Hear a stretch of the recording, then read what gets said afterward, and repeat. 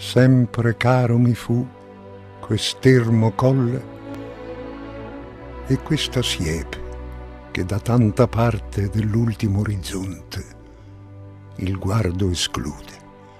Si celebreranno martedì prossimo 28 maggio i 200 anni dell'infinito di Giacomo Leopardi, versi unici e straordinari, un capolavoro sempre attuale della cultura italiana. L'apertura delle celebrazioni, che si protrarranno con eventi dedicati per tutto il 2019, è avvenuta in occasione della Giornata Mondiale della Poesia, quando il ministro Bussetti, nel ricordare quanto siamo in dovere di testimoniare l'importanza del pensiero di Leopardi e della sua opera, ha lanciato l'iniziativa rivolta a tutte le scuole d'Italia.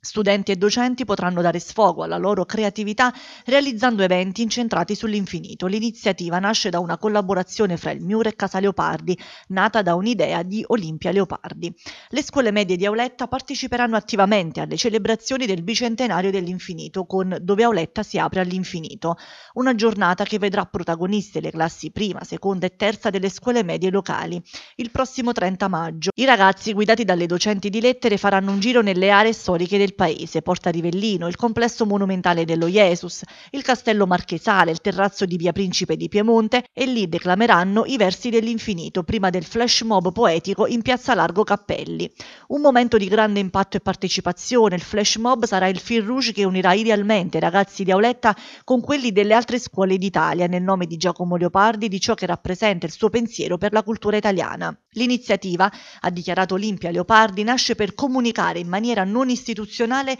la bellezza della poesia, superando i limiti dello spazio delle scuole, uscendo dalle pagine dei libri e invadendo strade e piazze laddove la poesia celebra la forza della vita, la gioia della creatività e la libertà dell'immaginazione e il flash mob risulta essere lo strumento giusto in quanto più attuale e vicino ai giovani, strumento che consente loro di vivere un profondo momento di unità e di condivisione nazionale trasversale nel nome del bello.